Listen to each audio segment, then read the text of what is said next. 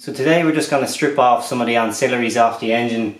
That'll include the uh, aircon, power steering, uh, probably the water pump, idler pulleys and the oil filter and oil cooler on the side here as well. So that should take a bit of weight out of the engine, and make it a bit easier to handle.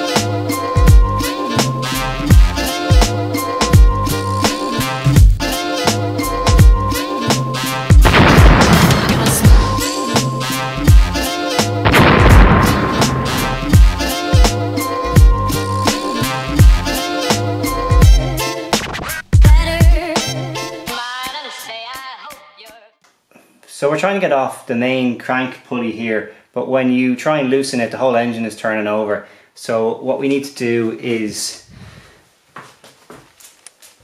take off the clutch again so that we can put something into the uh, into the flywheel here so that we can um, brace it with a breaker bar or something like that and then we can get the tension on the other side. So looks like we're taking off the clutch again.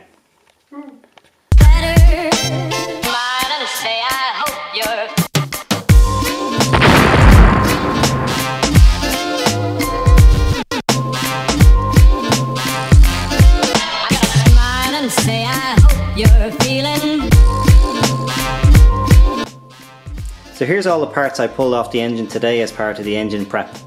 We've got the uh, water pump, the alternator, an idler pulley, as the power steering pump here, uh, the aircon unit, uh, the compressor, and um, this is the uh, crank pulley, and this is the um, oil cooler and uh, oil filter.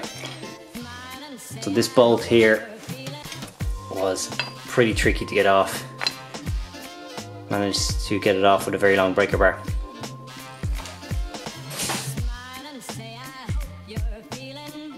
Bruce has actually sent me on the, the instructions which is very clear and well laid out. It's divided into different phases so for example in phase 3 it's all about engine prep um, so that's what I've been doing today. The next phase of it is to get into the actual engine dress, so adding on all the extra parts.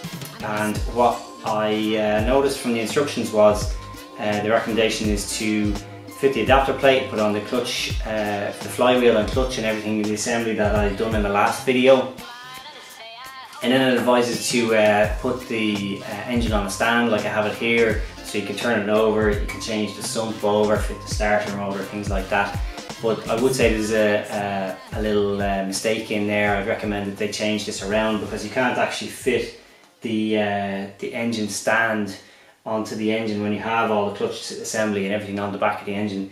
So I just have the, uh, the adapter plate here on and then the engine stand attached to that and I'll work on the sump and the pickup pipe and everything there, the uh, starter motor and then I'll attach the clutch after that.